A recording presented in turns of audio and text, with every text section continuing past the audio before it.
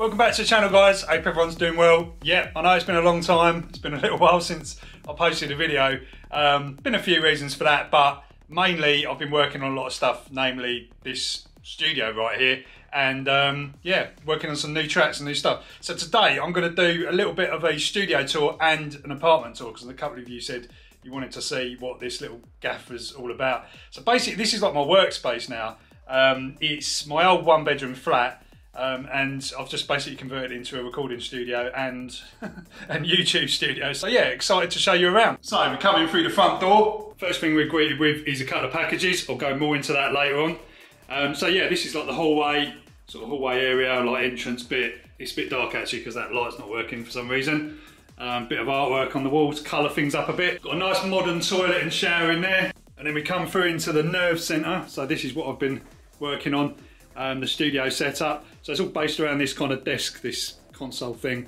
Um, and I've got obviously monitors at the top. Gives me a few layers to or levels to actually put stuff. It's actually got a couple of 19 inch rack um, spaces in here, so you can actually put some outboard gear if you want to use. See, I've got that old um, effects unit in there. So I've got my controller keyboard here. It's a complete control um, Novation keyboard.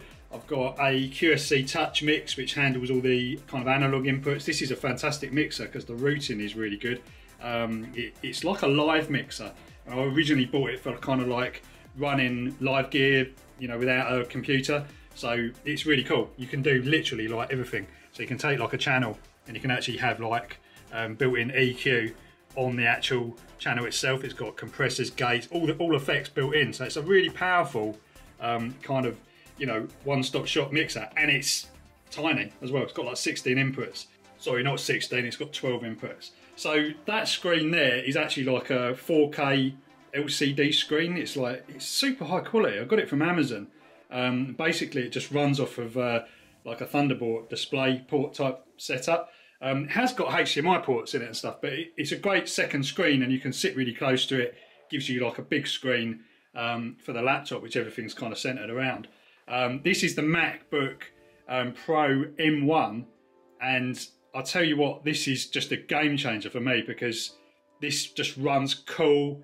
It's pretty much silent, doesn't make a noise, um, and the amount of plugins you can run are it's, it's ridiculous compared to the Intel version. So this is the new one. They've changed the architecture.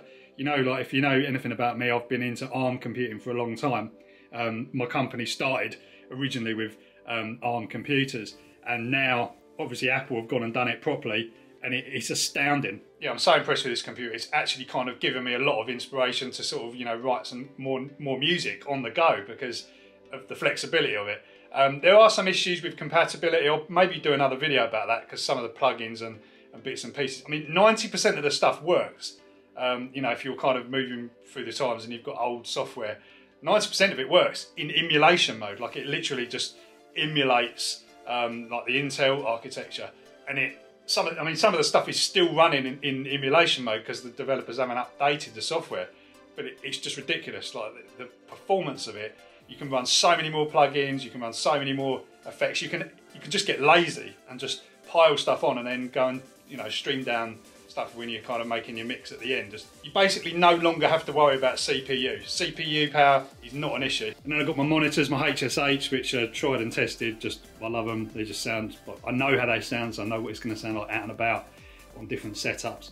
What's really interesting about this room, I've got some bass traps here and some acoustic you know, paneling to kind of sort out any reflections, but it's so acoustically dead and good in here, like that my mixing is just so much easier now um, really, really made a huge difference. Just the size of the room, because it's a small room, um, I think it's actually kind of helped a lot. Um, but yeah, I probably don't need these bass traps, but they, they certainly help. So over here, we've got what I call my big stack. So I've got um, my Yamaha MODX6, I've got my Novation MiniNova and a System 1, Roland System 1 as well. This is just a get you out of trouble if you have trouble with um, software synths um, not quite sounding as good or as fat as they can, then just come to the big stack and all will be um, all will be sorted. I've got some other hardware as well, my Waldorf Blofeld, which is superb for like trancey sort of sounds and stuff. Um, and yeah, I've got this which I've been playing around with, Model Cycles. Um, this is cool. It's like an FM synth. It's like a groove box really, but it's it's pretty awesome. And some other bits and pieces just lurking around, which haven't got a, got a home yet. I'm using a little PreSonus 24C as an audio interface at the moment because I didn't really, up until now, I didn't really need a lot of inputs. Um, but I'm actually going to switch this over for the PreSonus um, Quantum, which is in that box. That is a big three-tier keyboard stand as well, which I'm going to shuffle my keyboards around. So this is behind me on the other wall. Um, this is my YouTube kind of editing setup and live streaming setup. Also, obviously camera points this way so I can actually film myself in the studio as well.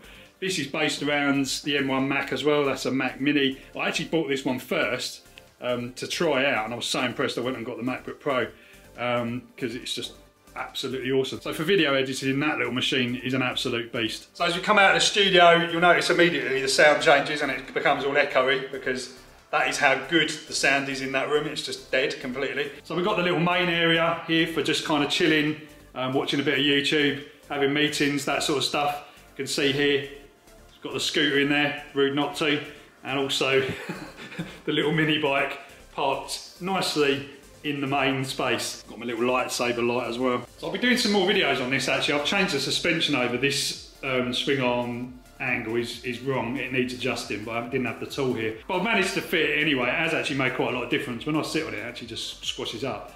Um, but yeah, little bike's running well. It's fantastic around here. It's loads of woods and stuff to rip around. And then we've got the essential kitchen stuff, kettle, coffee maker. And on the floating kitchen unit, absolutely perfect for having a DJ set up. Because why not? aircon unit, and then just a table of crap because that's where I just dump everything. Oh yeah, I nearly forgot. The Twizy's here as well. So that wire goes down and actually charges the Twizy from downstairs. I could probably actually fit some solar panels on the front here maybe. So it's my birthday the other day and I just turned 42 and all of a sudden I'm getting excited by things like cordless hoovers and stuff like that. Pretty sad I know and I know Steve will have a few things to say about this. But um, this is really cool. This little hoover is perfect for this little space.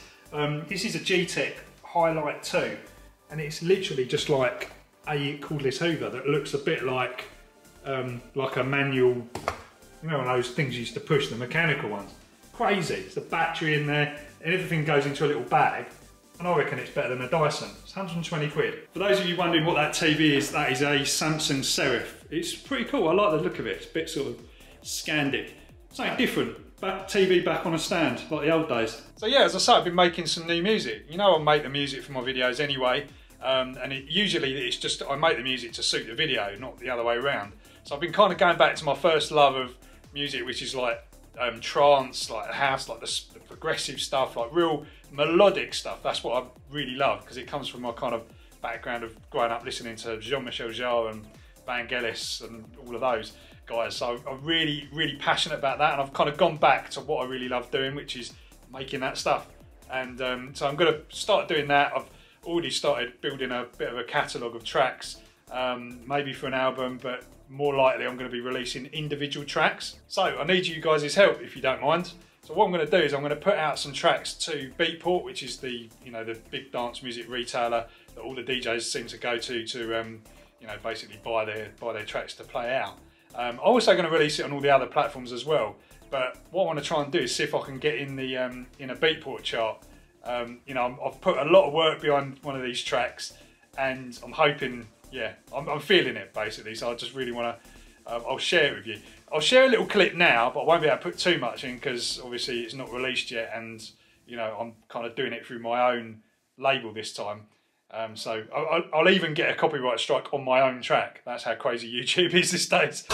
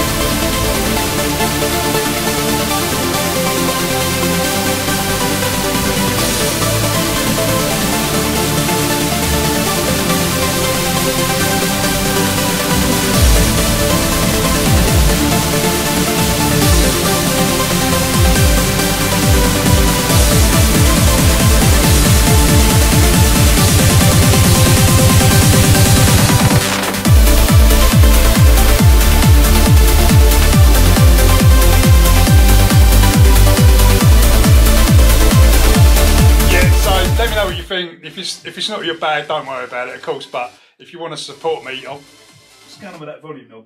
Yeah, if you want to support me, then um, yeah, go go check it. I'm not going to make millions or anything out of this. I do realise that, um, but yeah, I just want to get tracks out there. I'm just really excited. I'm really buzzed by like you know getting this getting this out there now. So if you can help me get in some Beatport charts and stuff, won't be yet. I think probably going to release this maybe like in the next couple of weeks. I've got a few things to just sort out, but I'll let you know on the channel like as soon as it's going to happen. Everything else. Right, weather's looking good. I think I might nip into town. I think I'm going to go on this the 2000 watt scooter, yeah, still running good. Solar P1. It's really handy for nipping into town because you can actually wheel it into the uh, into the shops as well. That's why I actually prefer this, you know, for actually getting places than the, than the e-bikes because you can just wheel them around the shop. Slap the saddle on. Looks a bit like a mobility scooter, but I don't really care it does like 40 mile an hour. This thing as well, I was, seeing like loads of scooters around, like kids riding them with this little bag thing on the front. Like, what the hell is that? It's all about. But it's like a. I looked on Amazon. I found it. It's like a just a bag you can stick your phone and stuff on, or you can stick the camera in, which is going to be pretty handy. Yeah. The great thing about around here is there's loads of cycle paths.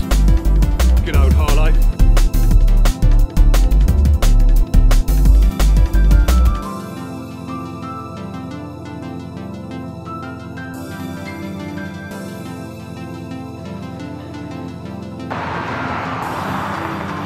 Such a quick and easy way to get into town. Hey guys, look, check this out. Look at that drop off down there. I think we need to have a me, Steve and Neil reunion. What do you reckon? That is steep. It's literally going down to the... Right, back at my desk. So I'm going to crack on editing this video, which you're watching now, so I can actually put it up tonight. Whilst I eat a piece of leftover birthday cake. Catch you in the next one.